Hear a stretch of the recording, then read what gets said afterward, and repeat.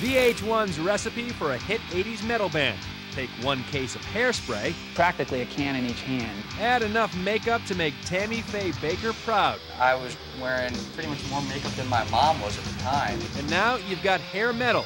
It was the look and sound you couldn't escape. For the bands, it was a dream come true. I remember dropping the phone and screaming at the top. of. what? These days, some are looking back. Well, there's a lot of rock star wannabes out there, and I'm glad to say that I'm a used to be. Most are looking forward, I have a beautiful wife, a beautiful son. and a few are still partying like it's 1989. I did 21 shows in a 24 hour period. From the scary to the sweet. We've got them all on VH1's Where Are They Now? Metal Mania.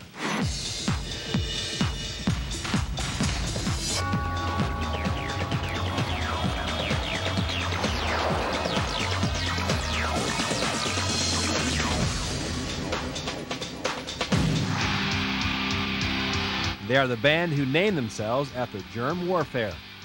They were the guys who moshed when slam dancing was the order of the day. Along with Megadeth and Metallica, Anthrax were one of the first bands to fuse the anger of punk with the crunch of heavy metal.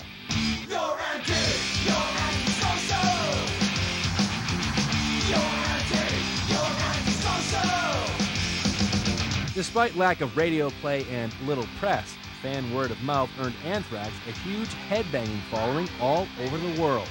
in Europe. It was insane. I remember us being in a taxi on the way to the gig in Milan. Oh my god! And we're pulling in, we're, we're pulling into this parking lot, and there's hundreds of kids started running after the car. They surrounded the car, started rocking it. So finally we got out, and they were ripping our hair and like kissing us. Certain places in Europe, they're just really emotional.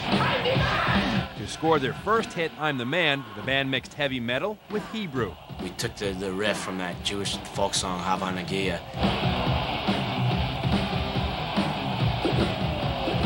The lyrics for this platinum seller were inspired by the Rodney Dangerfield film Easy Money. We just love that movie, and Frankie was always yelling that, you know, from that scene. I'm the man, come down. Come down. I'm the man. I'm so bad, I should be in detention. I denied! I'm demanded! I'm so bad I should be in 1991, they launched another unusual collaboration, teaming up with Chuck D and Flavor Flav of Public Enemy.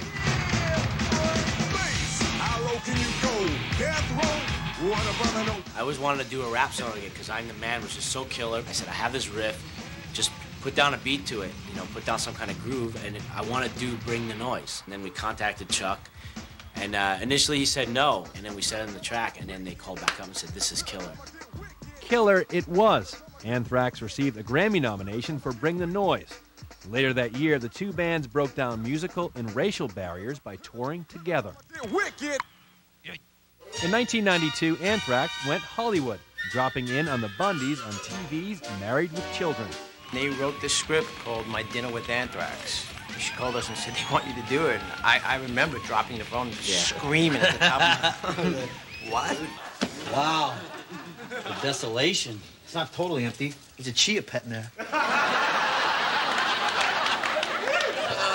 That, that's not a chia pet. Uh, that was a meatloaf. The hardworking group was enjoying increasing success, but musically they felt they had hit a wall. The band felt it was time to bid farewell to vocalist Joe Belladonna. I was cool with it, you know. It was sad to sad to say goodbye unwillingly, you know. A lot of people actually thought I quit. I just felt like we needed to move on. It needed to change.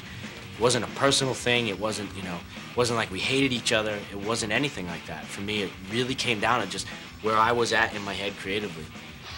Anthrax brought in Armored Saints vocalist John Bush as his replacement.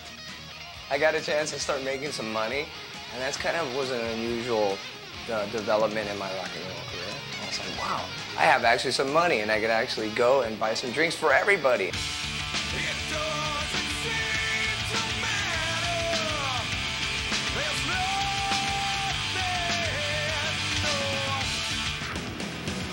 In 1995, second guitarist Dan Spitz quit the group. Today, he's recording new music with old buddy Joe Belladonna while making a living as a watchmaker.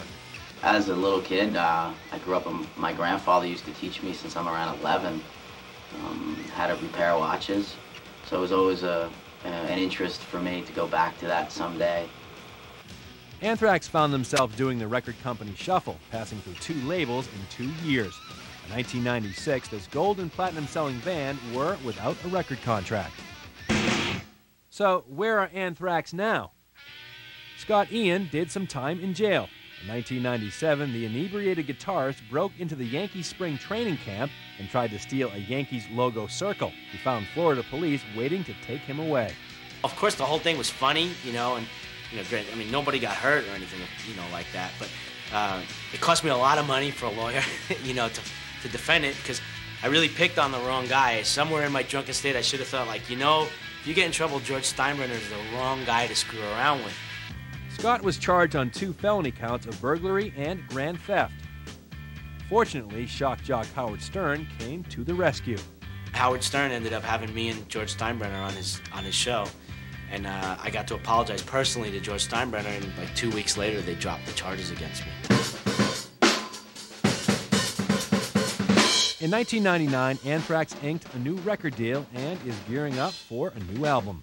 These are my guitars. It only has five strings because I'm generally a rhythm guitar player and I find the, the high E and the B to be kind of superfluous. I never even use them. Whenever we feel uninspired or anything, we just look at this picture and boom, write another song. They also have a special world tour in the works. Half of the show is the old lineup with Joey. We're doing the old songs. Um, second half of that will be with John Bush. 16 years of thrash behind them, Anthrax has no intention of slowing down. All you can do is keep going. If you love Stay what strong. you do, you just got to keep going, and that's it. You have no choice. You know, it's either that or quit. You know, I mean, we don't want to quit, so quitting's for. no, I can't say it to be politically incorrect. Miami is renowned for many types of music.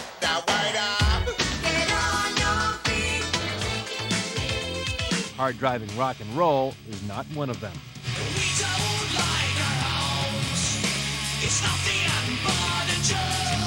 Miami's hard rock scene was so small that the four members of Saigon Kick got together for one simple reason. We were the only ones left who couldn't get in any other bands. Like, you know, so it was a choice of either tolerating each other and putting a band together or, you know, not being in a band. Together, these leftovers of rock created a unique musical vision, one that combined elements of metal, punk, and the burgeoning alternative scene. Because we came up in an isolated scene, we weren't in LA, we weren't in New York, and we were straddling the beginning of alternative and the end of metal, we were kind of pioneering. We were kind of the Magellans of a new way.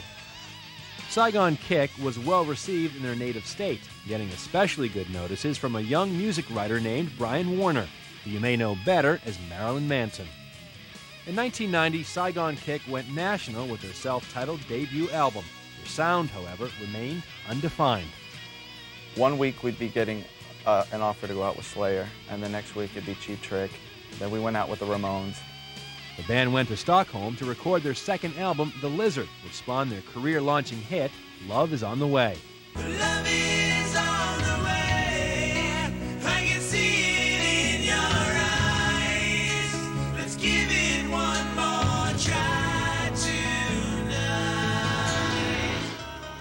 In December of 1992, the ballad went to number 12 on Billboard's Hot 100. But before the band could say sophomore jinx, lead singer Matt Kramer quit the band. I think we were still on the charts when I left, and I said, This is great. It, it's been a great ride. Before this gets really bad, before it gets tacky, I'm out. It's no really brilliant story here that's unlike anybody else's. I mean, band gets hit, band decides they don't like to be with each other. Everybody decides they're the next, you know, genius, and everybody goes off in their own area to uh, find out whether they are or not. So, where are the guys from Saigon Kick now? Jason Bieler got together with former Extreme bassist Pat Badger and formed a new band, Super Transatlantic. Their song Super Down is featured on the soundtrack to 1999's American Pie.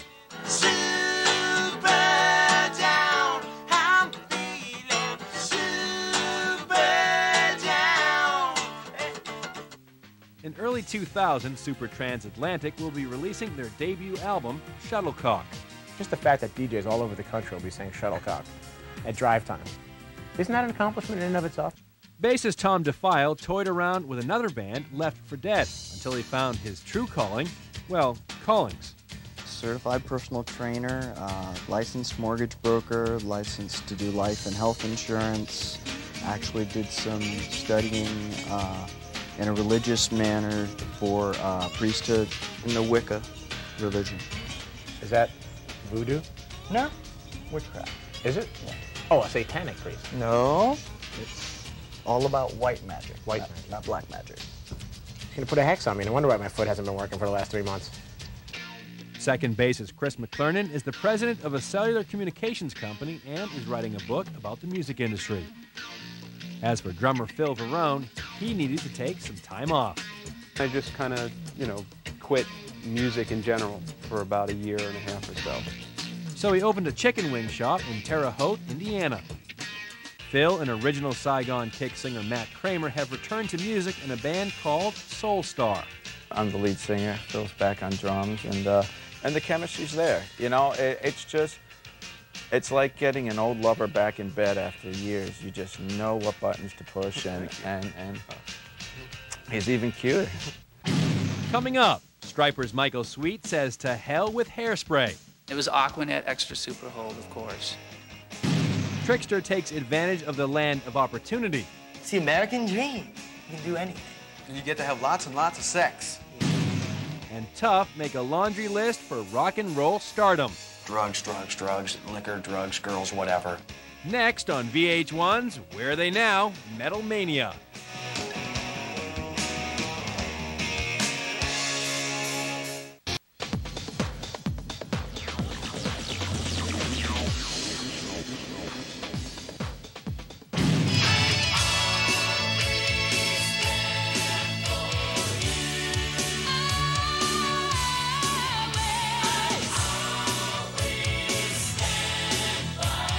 Sex, drugs, and rock and roll may be the calling card of many a rock musician, but Christian metal band Stryper had different goals. I've made the decision to go out and, uh, and make a stand for something different. And, you know, to, to run from the temptations instead of run to the temptations. Originally a generic metal outfit called Roxx Regime, the band, brothers Michael and Robert Sweet, Oz Fox and Tim Gaines became Born Again in 1983 and changed their tune.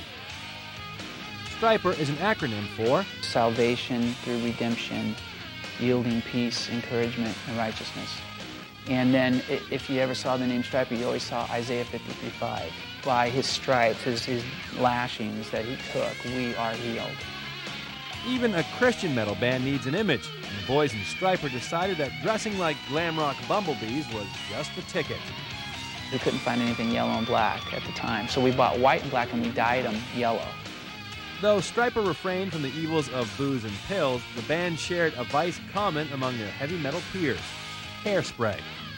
Practically a can in each hand, you know, uh, and just every five minutes going back and putting more on, you know. It was unbelievable, and it was Aquanet Extra Super Hold, of course. Instead of guitar picks or t shirts, these Rockers for Jesus pelted their audience with a different kind of memento Bibles. Robert would come off the drums, and, and we would all go out and, and throw these Bibles out, and people would go crazy. Crazy. The whole crowd would just, "Ah," you know, trying to get a Bible. Despite fans like Jim and Tammy Faye Bakker, the first hard rock band with a Christian message faced resistance from many of their church going peers. Some people thought we were actually satanic, you know, and uh, because of they felt we were being, uh, you know, blaspheming God uh, with the hair and the look and the, and the sound. After two gold selling releases in 1986, their third album, To Hell with the Devil, went platinum. The top 30 single, Honestly, put Stryper on the map.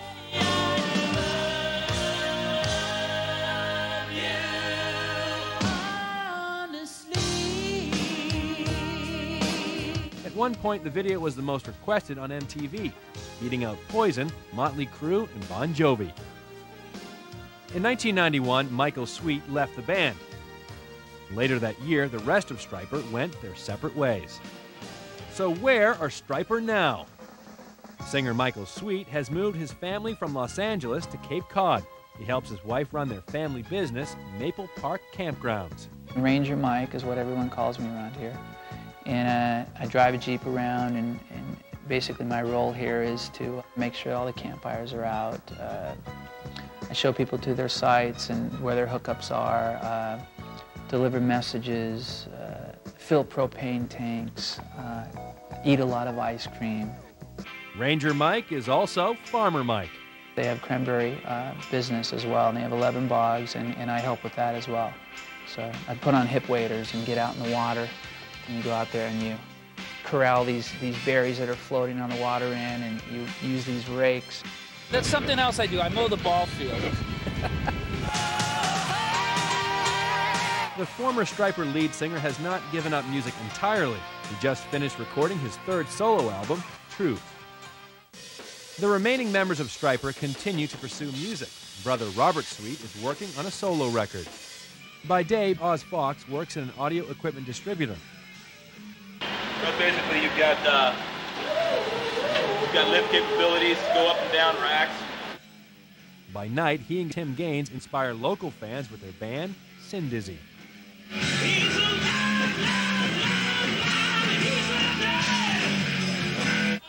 Invited to play a reunion gig in Puerto Rico in 1999, Stryper found out that outside their home turf, they could still pack a stadium. You know, and then when we pulled into the show, it looked like, looked like a football game. And I thought, what is this? And the guy said, that's where you're playing. I said, you're kidding me. Just a sea of people. So will the band reunite to spread its message of the Father, the Son, and the Holy Hairspray in the 21st century? I look back at some of the pictures now, and it's just a riot. You know, I'm in tears because the hair is so big. And it's like, how did we get our hair that big? I would suppose if we ever reunited, it has to be before we all lose our hair, right? One thing's for sure, the former members of Stryper haven't lost their faith. Jesus will be there for each and every one of you.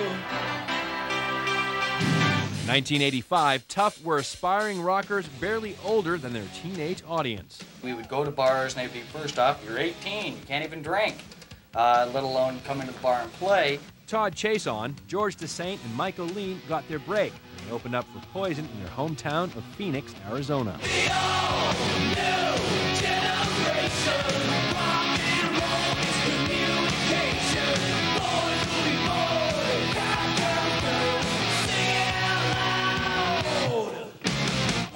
We had fully glammed ourselves up, and uh, I was wearing pretty much more makeup than my mom was at the time, you know. Uh, and we did the show with Poison, and they said they were super guys, and, except for when Bobby Dall slept with my girlfriend. Outside of that, they were pretty wonderful fellas. they said, you got to come to LA. You're not going to get recognized in Phoenix. Come to LA. After hitting LA, they picked up vocalist Stevie Rochelle, dead ringer for Poison's Bret Michaels. We went and met with him and said, who cares if he can sing? He looks good. After three national tours, the band landed a record deal with Atlantic in 1991. They made one video, I Hate Kissing You Goodbye, and success was theirs.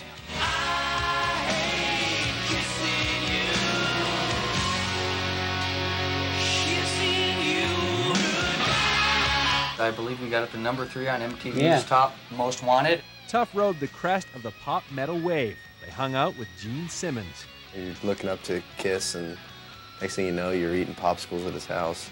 They indulged their vices. Drugs, drugs, drugs, liquor, drugs, girls, whatever. Their fun was interrupted when their rental van was robbed and torched in Tennessee. Remember walking through the projects just going, all right, who's got our gear? We're four white guys in the middle of the projects in Memphis. We want our gear. They're all wearing our T-shirts, you know. You go, I don't, I don't know anything about it. By 1995, it was all over. So, where are Tuff now? Drummer Michael Lean is married, has a son, and went into business for himself. He owns the Old New York Bagel Shop in Camarillo, California. The bagel business, full of holes. we own a bagel and deli business, and uh, so far it's gone very well. It's, you know, we're looking to open more stores, hopefully in, in the near term. Bassist Todd Chason leads a band in LA called Substance D. It's almost like reliving Tuff again but just without the makeup. Wisconsin native Stevie Rochelle has a Green Bay Packers fan band called CWA, Cheeseheads with Attitude. Let's hear a cheer.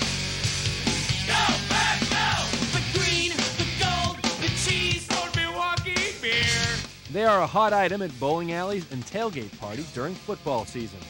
When he's not busy in front of a mic, Stevie's busy in front of a camera as a bit player in a variety of movies. And I, I, you know, I always get a phone call here and there that somebody goes, "Hey, I was watching cable and I seen this goofy movie, and, and I was just wondering if this was you."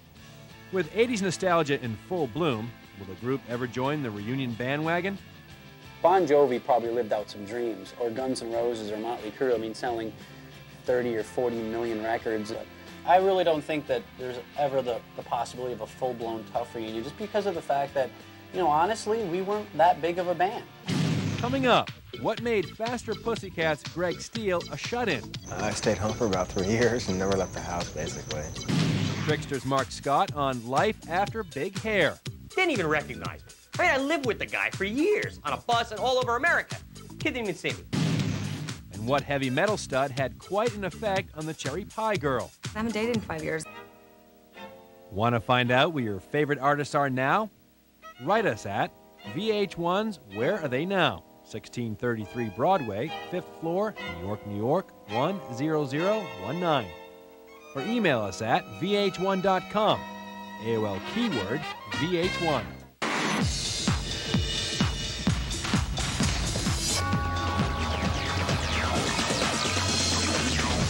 Amy Guarinello from Philadelphia writes, When are you going to do an episode with my all time favorite band, Jackyl? I just love to sing along really loud to push comes to shove, but only if I'm alone in my car. You need to tell me where are they now? Well, Amy, Jackyl recently made music history. Find out how next on VH1's Where Are They Now? Metal Mania.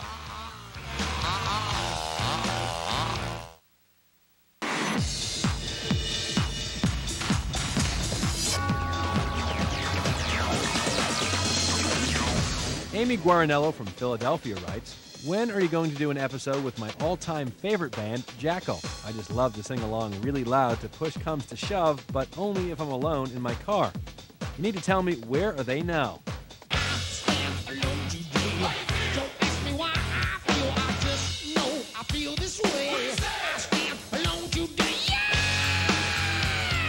Here's the story. Jackyl formed in 1990, at a time when most metal bands were taking a back seat to the alternative rock scene. Their 1992 debut album went platinum on the strength of such songs as I Stand Alone and The Lumberjack, in which lead singer Jesse James Dupree made a solo appearance with a chainsaw.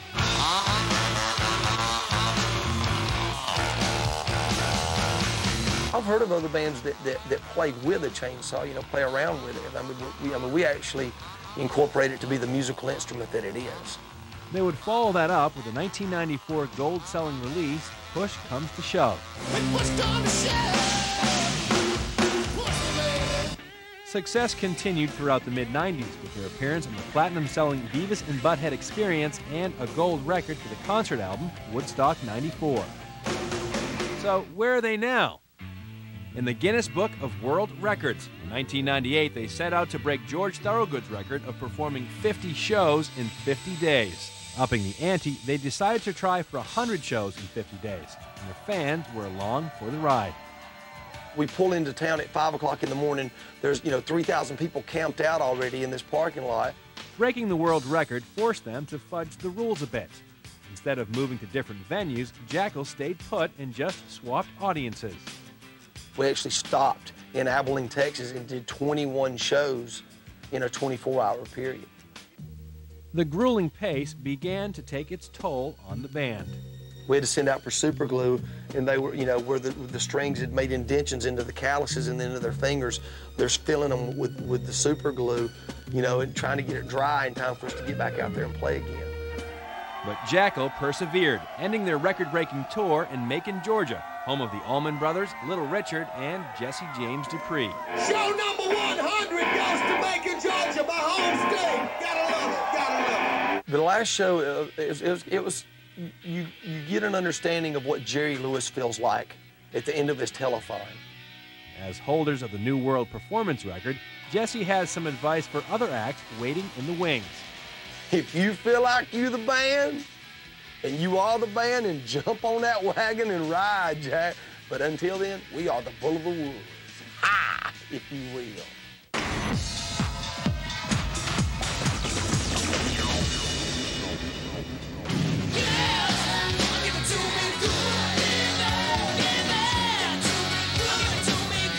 Trixter. Mark Scott, Steve Brown, Pete Loran, and PJ Farley four guys from Paramus, New Jersey. Basically, it was friends who grew up together, started a band. The first gig we ever played was at my middle school, where my uh, my father is, was the principal, if you can believe that. Taking inspiration from both their musical heroes and female fans, Trixter had big hair. It was just something to swing around, you know, really more than anything. And uh, I got back problems from that. By 1989, when bassist PJ Farley was still in high school, the band was signed to a record deal. In 1990, their hit Give It To Me Good made the charts. One of the perks of stardom was touring with their idols, Kiss. Kiss and Van Halen were the reasons that this band ever existed, that Trixter ever started. Getting a call from Kiss was one of the biggest things in my life. Uh, it was a band that we all looked up to, and it gave us another opportunity to play the Meadowlands. And to finally go out on the road with them and to hang out with Gene every night, which is, you know, comedy in itself, it was great. Like kids in a candy store, the guys of Trixter had their pick of vices. I chose to stay away myself, at least from the drugs. Sex was a different story. Next question. A lot of people, a lot of places, a lot of beer, a lot Yeah. of pizza. You know, it was Right. cool. A lot of chicks. Success, however, was fleeting. By the time a second LP, Here, was released in 1991, Pop Metal was out. We would go to radio with our first single off that second record, and program directors would be like, "We just changed our format yesterday." So, where are Trixter now? Singer Pete Loran has a new house and a new life in Arizona. You find all sorts of Native American history things, ancient uh, Indi- Indian mask here. Isn't that something? He satisfies his musical urge by playing the local club circuit. Here we go. Stand on the wall when all is gone. You might have your own, but all in all, you might have to take. Drummer Mark Scott runs an indoor amusement center near his hometown in New Jersey. Hey, you having a good time? I'm currently the director of marketing. It's a great gig. I love it. Uh, it's a little different as far as what I used to do. I love it. A new look and very different priorities has put some distance between Mark and his former bandmates. I remember just a couple of months ago, walking through the mall, I saw PJ pass by. And he passed me right next, shoulder to shoulder.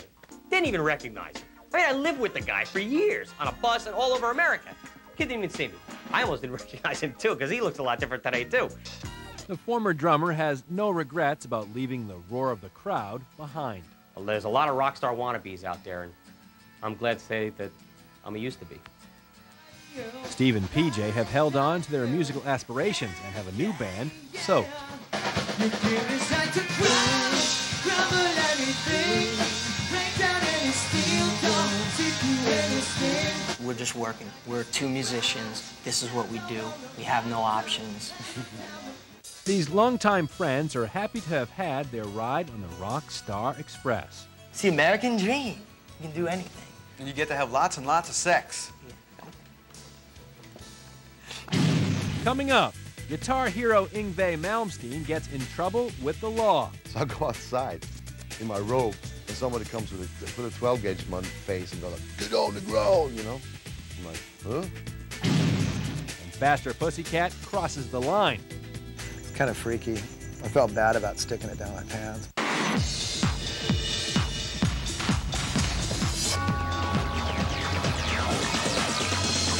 The year was 1988, and this star of Warrant's Cherry Pie video was every teen boy's wet dream come to life. Find out where this heavy metal hottie is now, next on VH1's Where Are They Now? Metal Mania.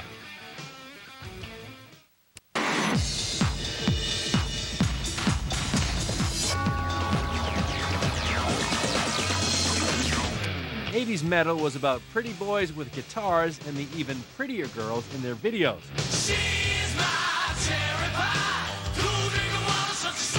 Pie, Bobbie Brown was the most famous video babe of them all. To this day, people will be like, hey, Cherry Pie Girl. Growing up in Baton Rouge, Louisiana, Bobbie Brown got her start in local beauty pageants. Miss Teen USA for Louisiana is contestant number 14, Miss Bobbie Jean Brown.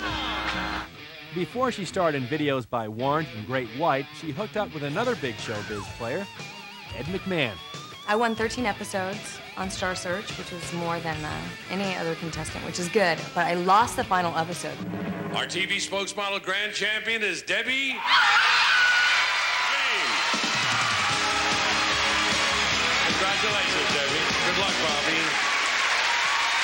Didn't win the 100 grand, but I got a lot of recognition. Among those who recognized her from Star Search was Warrant's lead singer, Jani Lane. I was dating Matthew Nelson at the time. And he went on Howard Stern and he was like, I don't care, Matthew, I'm in love with Bobbie. He was just straight up, I'm in love with this girl.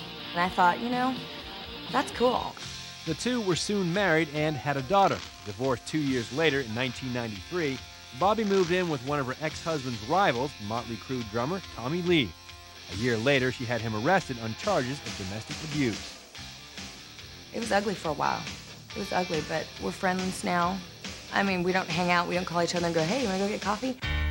To make matters worse, Bobbie found she had an X rated impersonator out to steal her thunder. There is a girl who is a stripper, and she uses my name, Bobbie Brown. She would go out, use my poster, sign my name, and be Bobbie Brown. She was in Penthouse, used my name in Penthouse. So I sued her and the company and their company because of all the work that I lost for her pretending to be me. And what's sick about it is she claimed my family. She said she was married to and she would tell people, oh, Taylor's doing fine. I mean, that got crazy. In 1994, Bobbie Brown won her lawsuit. So, where is Bobbie Brown now? After taking some time off to raise her daughter, Bobbie graduated from music videos to TV shows. She's a regular on a new series called Battle Dome. Battle Dome is going to be the most exciting sports show on TV. In the spirit of American Gladiators, Battle Dome is athletic competition spiced up with a lot of show business. Lycopus has been getting hammered. Watch. Oh, he got nailed again in the back of the head. Lycopus seems to be getting the worst of it. My character name on Battle Dome is called Bobby Haven. Yeah, original Miss B Haven. In 1999, this former serial rocker chick offers some words of caution to women wanting to date their musical idols. To not take your head off and put theirs on. You know, you don't have to change you to please other people. Will we see the still luscious Bobbie on the arms of a 90s pop star anytime soon? Do I date musicians?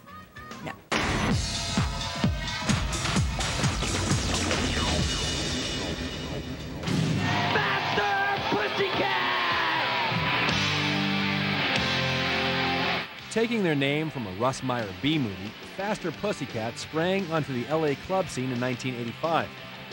They achieved widespread success when their second album, Wake Me When It's Over, went gold on the strength of the single House of Pain.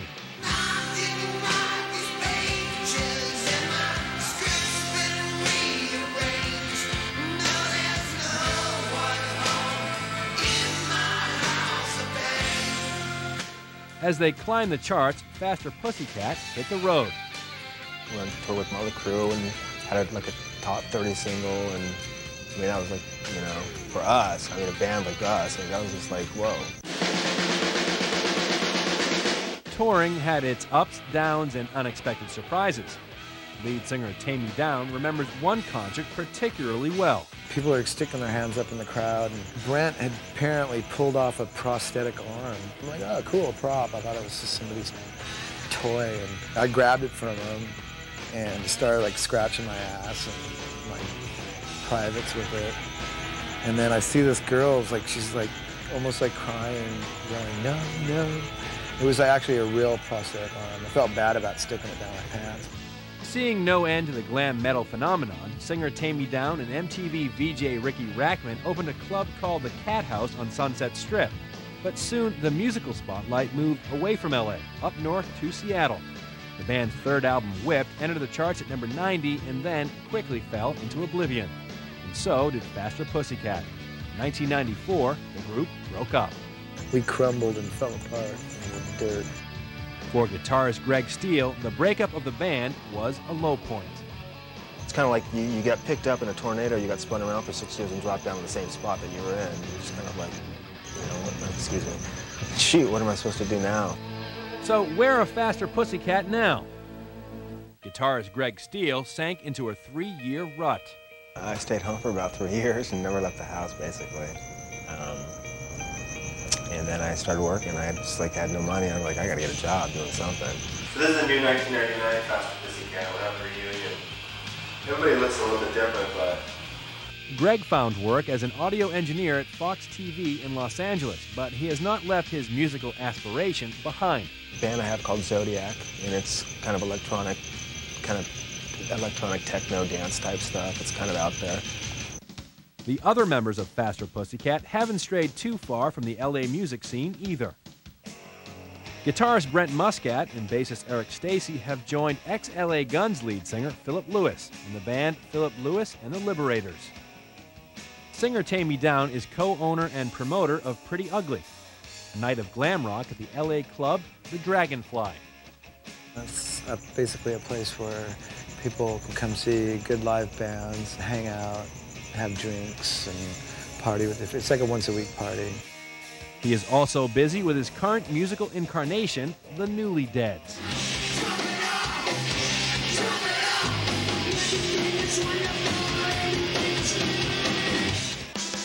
Years after his band has left the spotlight, Faster Pussycat's former frontman is one 80s rocker who has successfully avoided the 9 to 5 drag. I sleep between 9 and 5. I'm a vampire. That's what happens when you promote clubs and DJ and you don't get the sunlight, you get the pasty skin. Coming up, guitar god Yngwie Malmsteen shares his recipe for success. You can shred lettuce, shred cheese, you can shred potatoes. I shred guitar strings. Next on VH1's Where Are They Now? Metal Mania.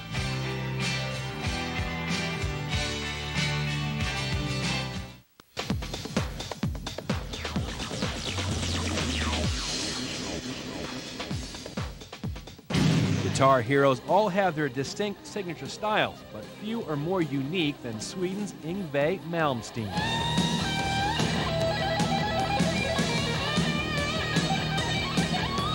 Coming to LA in 1983 with only his guitar and an extra pair of jeans, the 19 year old Yngwie's clean, fast, classical influenced style soon became all the rage. I remember when I came to LA and all these guys come up and dude, you shred, dude. You shred, dude. I'm like, huh? Dude, what's that, you know? You can shred lettuce, shred cheese, you can shred potatoes. I shred guitar strings. He was soon shredding with his own band, Rising Force. In 1985, they were nominated for a Grammy for Best Rock Instrumental. When I announced it, is said the nominees are Jeff Beck and Stevie Ray Vaughan and Ying Yang or Yngwie Malmsteen or something like that. I said, okay, I know I'm not going to win it. However, his career rise would take a fall. In 1987, a near fatal car crash put Yngwie in a coma for a week and severely damaged nerves in his right hand. The accident was just the beginning of a year of bad luck. I found out my manager had ripped me off all my money. I had no money. Then, you know, I'm, I, my house was destroyed in an earthquake. Then the absolute worst thing that ever could happen, my mother passed away. Yngwie began to pick at his guitar strings again, and after a miraculous recovery, he released his seventh LP, Odyssey, with its single, Heaven Tonight.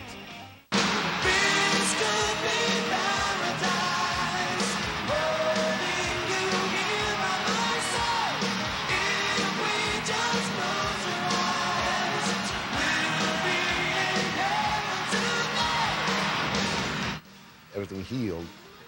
My playing was actually better than before. Career problems were soon compounded by personal troubles. In 1993, his girlfriend's mother had him arrested on charges of kidnapping. She called the cops and she said that I was kidnapping her daughter. So I wake up like, you know, oh, what's going on? You know, like, uh, come out with your hands up, bullhorns and helicopters, and they cut off all the streets, and you know, there's SWAT team climbing on the house, and it's like a movie. So I go outside in my robe, and somebody comes with a, put a 12 gauge in my face and go like, get on the ground, you know? It, it was in the press before, like that. His girlfriend denied the charges and the case was dismissed. So, where is Yngwie now? Today, Yngwie is living the good life in Florida with a new wife, a collection of guitars, exotic cars, and other unusual toys. It's made for me. It's actually, I can actually wear it. He is grooming his son Antonio to follow in his footsteps. Before he was born, I had Fender make him uh, Antonio Malmsteen model, since they make my models. It's a little guitar. Yeah. But he prefers the big ones.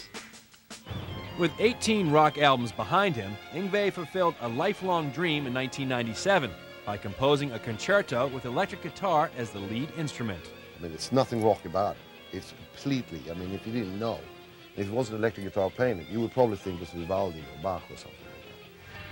The guitarist has released instructional videos, and his groundbreaking technique has spawned legions of musical wannabes. Hi, welcome to the video. My name is Yngwie Malmsteen, J Malmsteen, by the way. Yeah. Okay, this is the fingering for A minor. I find it very uh, kind of frustrating to try to teach because they will say like, "Can you play that slow?" And I, I, okay, I go, "Okay, here it is." Blah, blah, blah. No, no, play it slow. That was slow. I think. you do that very slow, it goes. With a 1999 album Alchemy in stores and a tour in the works, the fast playing, fast driving Swede is not one to reminisce about the past. I've never felt so content and so happy with how things are going as I do now. You know, I have a beautiful wife, a beautiful son, I have my own recording studio, you know, I mean, things, things are going really well for me.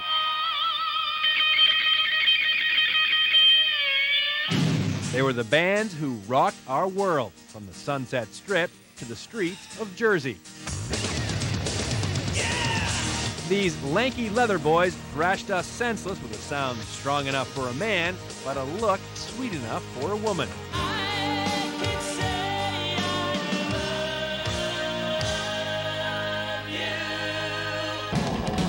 Dudes might not look like ladies anymore, but as long as there are loud guitars and smudge proof mascara, hair metal will never die. Super transatlantic, I am sick and I am down, stupefied and tragic. See Skid Row, Def Leppard, Motley Crue, and Poison before they were rock stars. Tonight at 10, 9 central, only on Bad Boys Week, only on VH1.